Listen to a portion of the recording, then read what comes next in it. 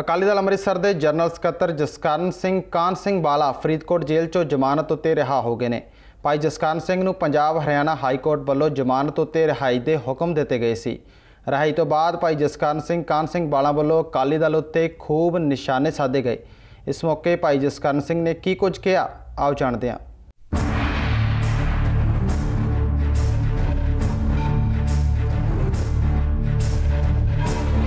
ਪੰਜਾਬ ਦੀ ਧਰਤੀ ਤੇ ਹੋਏ ਪੰਥ ਵਿਰੋਧੀ ਫੈਸਲਿਆਂ ਤੇ ਸ੍ਰੀ ਗੁਰੂ ਗ੍ਰੰਥ ਸਾਹਿਬ ਦੀ ਬੇਅਦਬੀ ਤੋਂ ਬਾਅਦ ਪੰਜਾਬ ਦੀਆਂ ਪੰਥਕ ਜਥੇਬੰਦੀਆਂ ਵੱਲੋਂ ਸਰਬਤ ਖਾਲਸਾ ਸੱਦਿਆ ਗਿਆ, ਜਿਸ ਪੰਥਕ ਜਥੇਬੰਦੀ ਵੱਲੋਂ ਨਵੇਂ ਜਥੇਦਾਰਾਂ ਦਾ ਐਲਾਨ ਤੇ ਕਈ ਹੋਰ ਫੈਸਲੇ ਕੀਤੇ ਗਏ। ਸਰਬਤ ਖਾਲਸਾ ਤੋਂ ਬਾਅਦ ਪੰਜਾਬ ਸਰਕਾਰ ਨੇ ਸਖਤ ਰੁਖ ਇਖਤਿਆਰ ਕਰਦੇ ਹੋਏ ਸਰਬਤ ਖਾਲਸਾ ਦੌਰਾਨ ਐਲਾਨੇ ਜਥੇਦਾਰਾਂ ਤੇ ਕਈ ਹੋਰ ਪੰਥਕ ਆਗੂਆਂ ਨੂੰ ਜੇਲ੍ਹ 'ਚ ਡੱਕ ਦਿੱਤਾ ਗਿਆ। ਇਸ ਤੋਂ ਬਾਅਦ ਪੰਥਕ ਆਗੂਆਂ ਵੱਲੋਂ ਕਾਨੂੰਨ ਦਾ ਰਸਤਾ ਅਪਣਾਉਂਦੇ ਹੋਏ ਅਦਾਲਤੀ ਪ੍ਰਕਿਰਿਆ 'ਚ ਵਿਸ਼ਵਾਸ ਜਤਾਇਆ ਗਿਆ, ਜਿਸ ਤੋਂ ਬਾਅਦ ਪੰਥਕ ਆਗੂਆਂ ਨੂੰ ਜ਼ਮਾਨਤ ਤੇ ਰਿਹਾਈ ਮਿਲੀ। ਫਰੀਦਕੋਟ ਦੀ ਜੇਲ੍ਹ 'ਚੋਂ ਰਿਹਾ ਹੋਏ ਅਕਾਲੀ ਦਲ ਅੰਮ੍ਰਿਤਸਰ ਦੇ ਜਨਰਲ ਸਕੱਤਰ ਭਾਈ ਜਸਕਰਨ ਸਿੰਘ ਨਿਹਾਲ ਸਿੰਘ ਵਾਲਾ ਦਾ ਸਿੱਖ ਸੰਗਤਾਂ ਵੱਲੋਂ ਗਰਮ ਜੋਸ਼ੀ ਦੇ ਨਾਲ ਸਵਾਗਤ ਕੀਤਾ ਗਿਆ। ਇਸ ਮੌਕੇ ਜਸਕਰਨ ਸਿੰਘ ਵੱਲੋਂ ਸਭ ਦਾ ਧੰਨਵਾਦ ਕੀਤਾ ਗਿਆ ਤੇ ਇਸ ਸਭ ਲਈ ਬਾਦਲ ਸਰਕਾਰ ਤੇ ਸ਼੍ਰੋਮਣੀ ਕਮੇਟੀ ਨੂੰ ਦੋਸ਼ੀ ਠਹਿਰਾਇਆ ਗਿਆ। ਗੁਰੂ ਗ੍ਰੰਥ ਸਾਹਿਬ ਦਾ ਜਿਹੜੀ ਪੂਰੀ ਮਨੁੱਖਤਾ ਦੇ ਗੁਰੂ ਹੈ, ਉਹਨਾਂ ਦਾ ਤਾਂ ਦਿਲੋਂ ਸ਼ੁਕਰਗੁਜ਼ਾਰ ਹਾਂ। ਉਸ ਤੋਂ ਬਾਅਦ ਮੈਂ ਸ਼ੁਕਰਗੁਜ਼ਾਰ ਹਾਂ ਸਰਦਾਰ ਸਿਮਰਨਜੀਤ ਸਿੰਘ ਜੀ ਮਾਨ ਦਾ, ਜਿਨ੍ਹਾਂ ਨੇ ਤਿੰਨ ਦਿਨ ਜੱਜ ਦੇ ਸਾਹਮਣੇ ਬੈਠ ਕੇ ਇਹ ਲੜਾਈ ਲੜੀ। ਉਸ ਤੋਂ ਬਾਅਦ ਮੈਂ ਹਾਈ ਕੋਰਟ ਦਾ ਜਿਹੜੇ ਉੱਥੋਂ ਦੇ ਜੱਜ ਆ, ਬੇਦੀ ਸਾਹਿਬ, ਉਹਨਾਂ ਦਾ ਧੰਨਵਾਦ ਹੈ ਕਿ ਉਹਨਾਂ ਨੇ ਸੱਚ ਦਾ ਪੱਲਾ ਫੜ ਕੇ ਪ੍ਰਕਾਸ਼ ਸਿੰਘ ਬਾਦਲ ਦੀ ਜਿਹੜੀ ਜੁੰਡਲੀ ਹੈ, ਜਿਹਦੇ ਰਾਜ ਵਿੱਚ ਭੂ ਮਾਫੀਆ, ਲੈਂਡ ਮਾਫੀਆ ਤੇ ਹੋਰ ਸਾਰਾ ਕੁਝ ਸਾਰਾ ਕੁਝ ਚੱਲ ਰਿਹਾ, ਉਹਨੂੰ ਭਾਜ ਦਿੱਤੀ। ਉਸ ਤੋਂ ਬਾਅਦ ਮੈਂ ਸਮੁੱਚੀ ਪ੍ਰੈਸ ਦਾ ਧੰਨਵਾਦੀ ਹਾਂ। ਇਹਨਾਂ ਅੱਗੇ ਤਾਂ ਮੇਰਾ ਸਿਰ ਹੀ ਝੁਕਦਾ ਹੈ, ਕਿਉਂਕਿ ਇਹਨਾਂ ਨੇ ਸਾਡੀ ਦੁਨੀਆ 'ਚ ਗੱਲ ਪਹੁੰਚਾਈ ਹੈ।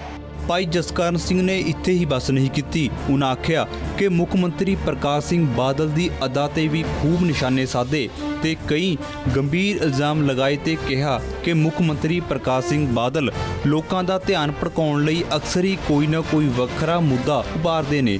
ਭਾਈ ਜਸਕਰਨ ਸਿੰਘ ਨੇ ਕਿਹਾ ਕਿ ਮੁੱਖ ਮੰਤਰੀ ਪ੍ਰਕਾਸ਼ ਸਿੰਘ ਬਾਦਲ ਨੇ ਲੋਕਾਂ ਦਾ ਧਿਆਨ ਸ੍ਰੀ ਗੁਰੂ ਗ੍ਰੰਥ ਸਾਹਿਬ ਦੀ ਬੇਅਦਬੀ ਵਰਗੀਆਂ ਘਟਨਾਵਾਂ ਤੇ ਪੰਥਕ ਆਗੂਆਂ ਦੀ ਰਿਹਾਈ ਤੋਂ ਹਟਾਉਣ ਲਈ ਐਸਵਾਈਐਲ ਦਾ ਮੁੱਦਾ ਚੁੱਕਿਆ ਹੈ। ਉਸ ਤੋਂ ਬਾਅਦ ਮੈਂ ਸਰਬੱਤ ਖਾਲਸਾ ਜਿਹੜਾ 10 ਨਵੰਬਰ ਨੂੰ ਚੱਬੇ ਦੀ ਧਰਤੀ ਤੇ ਹੋਇਆ ਇਹ ਜਿਹੜਾ ਸਾਰਾ ਕੁਝ ਹੋਇਆ ਹੈ, 1 ਜੂਨ ਨੂੰ ਬੁਰਜ ਜਵਾਹਰ ਸਿੰਘ ਵਾਲੇ ਵਿਖੇ 2015 ਨੂੰ ਜਿਹੜੇ ਗੁਰੂ ਗ੍ਰੰਥ ਸਾਹਿਬ ਦੀ ਬੇਅਦਬੀ ਹੋਈ ਹੈ ਚੋਰੀ ਹੋਇਆ ਹੈ ਉਸ ਤੋਂ ਬਾਅਦ ਬਗਰਾੜੀ ਵਿਖੇ ਗੁਰੂ ਗ੍ਰੰਥ ਸਾਹਿਬ ਦੀ ਜਿਹੜੀ ਬੀੜ ਆ ਉਹਦੇ ਅੰਗਾਂ ਨੂੰ ਕਰ ਦਿੱਤਾ ਉਹਦੇ ਵਿੱਚ ਹਰੇਕ ਸਿੱਖ ਰੋਇਆ ਸਾਡਾ ਹੱਕ ਆ ਦੋ ਨਹਿਰਾਂ ਜਾਂਦੀਆਂ ਪੰਜਾਬ ਪਾਣੀ ਵੀ ਸਾਡਾ ਨਹਿਰ ਵੀ ਸਾਡੀ। ਤੇ ਫਿਰ ਦੱਸੋ ਉਹਦੇ 'ਚ ਪਾਣੀ ਲੈਸੇ। ਦੂਜੀ ਗੱਲ, ਪ੍ਰਕਾਸ਼ ਸਿੰਘ ਬਾਦਲ ਨੇ ਦਰਬਾਰ ਸਾਹਿਬ ਤੇ ਹਮਲਾ, ਕਾਂਗਰਸ, ਬੀਜੇਪੀ ਆਰਐਸ ਨਾਲ ਕੱਟ- ਇਕੱਠਾ ਨਹੀਂ ਕੀਤਾ, ਫਿਰ ਵੀ ਦੋਨੇ ਇਕੱਠੇ। ਉਸ ਤੋਂ ਬਾਅਦ ਸਰਸੇ ਵਾਲੇ ਸਾਧ ਨੂੰ ਮਾਫੀ ਦਿੱਤੀ, ਉਦੋਂ ਵੀ ਇਕੱਠੇ। ਜਦੋਂ ਨਹਿਰ ਕਪੂਰੀ ਦਾ ਮੋਰਚਾ ਜਗਮੀਤ ਬਰਾੜ ਨੇ ਚਾਂਦੀ ਦੇ ਟੱਕ ਕਰਕੇ ਲਾਇਆ ਇੰਦਰਾ ਗਾਂਧੀ ਆਈ ਉਦੋਂ ਵੀ ਇਕੱਠਾ। ਪ੍ਰਕਾਸ਼ ਸਿੰਘ ਬਾਦਲ ਨੇ 2 ਕਰੋੜ ਰੁਪਇਆ ਲਿਆ। ਹੁਣ ਆਰਬਿਟ ਹੋਟਲ ਬਣਾਇਆ ਇੰਦਰਾ ਗਾਂਧੀ ਇੰਟਰਨੈਸ਼ਨਲ 에ਅਰਪੋਰਟ ਦੇ। ਉਦੋਂ 1000 ਕਰੋੜ ਰੁਪਏ ਦਾ ਭਜਨ ਤੋਂ ਤੋਂ ਲਿਆ। ਹੁਣ ਕਹਿੰਦਾ ਮੈਂ ਪੈਸੇ ਮਾਫ ਵਾਪਸ ਕਰ ਦੂੰਗਾ। ਠੀਕ ਆ, ਪੈਸੇ ਵਾਪਸ ਕਰ ਦੇ। ਤੇ ਜਿਹੜਾ ਹੋਟਲ ਲਿਆ 30 ਕਰੋੜ ਦਾ ਉਹ ਵੀ ਵਾਪਸ ਕਰੇਗਾ।